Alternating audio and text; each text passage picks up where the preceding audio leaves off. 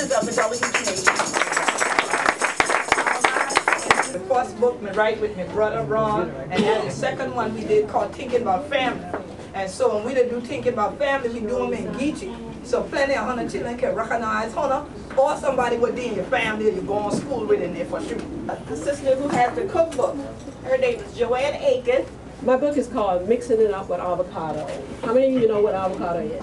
I do. Great. Hi, how's everybody doing? My name is Katrina McClain. Um, most people, or some people know me as playing in the Olympics. I played in three Olympics. As far as writing my book is really dealing with the youth. And that's my inspiration right now, is that I want to deal with the youth. Thank you very much, Katrina. Okay, Tiffany Joy Richardson, which is my niece. Oh, Peace and blessings, everyone. today I'm representing some of the jewelry that I made, and um, we have various things back here. But I also uh, I do writing as well and music. But today I'm just focusing on the jewelry. The man in the group, Mr. Jamie Fordo.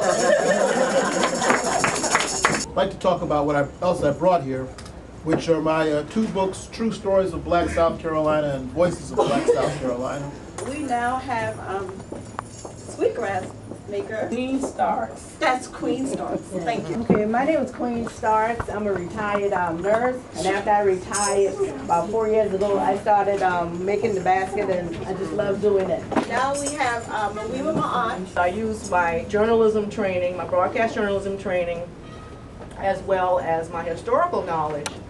I was able to mesh those two together and come up with this videotape. Y'all know, if y'all get the angel at the get Geechee Angel Network fundraiser, an angel with corkscrew in the head, y'all know there's something going on in it.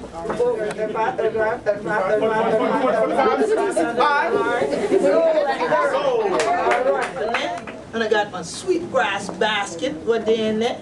You got the jewelry, we sister them. We got, we book and thing by your Olympic athlete, Sister McClain. And you got one book by the Queen too, what they in there. And you get your treasure chest.